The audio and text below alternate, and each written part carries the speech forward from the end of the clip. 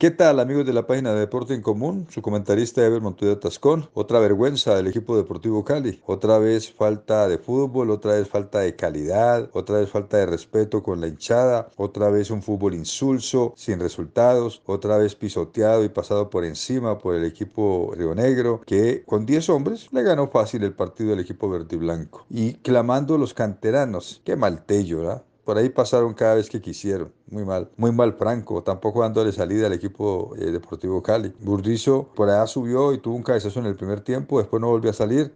terminó siendo Caldera el mejor delantero del equipo Deportivo Cali en el fútbol aéreo, porque era el que iba a cabecear. Por ahí tuvo una posibilidad que lamentablemente también la perdió. Pero en la generación de fútbol de la mitad de la cancha muy pobre muy pobre. El conjunto Río Negro se comió vivo al Cali en la mitad de la cancha con Marrugo. Marrugo y compañía. Basta ver el gol. Una pelota que filtra espectacularmente Marrugo.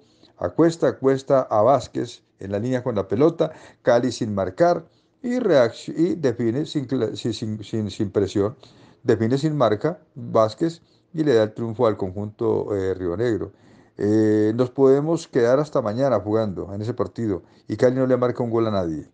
Mm, por ahí lo comí en los primeros minutos, tuvo una acción y pare de contar. Después el Cali no volvió a llegar.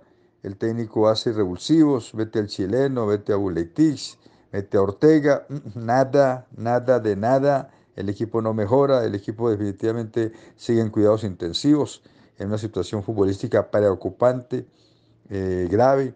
El estadio del Cali se volvió el comodín de todos, ahí llega todo el mundo y cuadra caja, todo el mundo llega y gana y se lleva los resultados y deja en vergüenza al equipo deportivo Cali y pareciera que los jugadores no le importara, ni los canteranos ni, ni los no canteranos.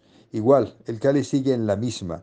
Ya Rafael Dudamel reflejó o dejó entender en la rueda de prensa que le quedan pocos días. Sí, si el Cali sigue jugando así, Rafa, qué pena con título y todo, le va a tocar que irse porque la verdad no aguanta más la gente esta pisoteada y esta manoseada que le pegan al Cali cada vez que juega un partido en el, en el Monumental de Palma Seca.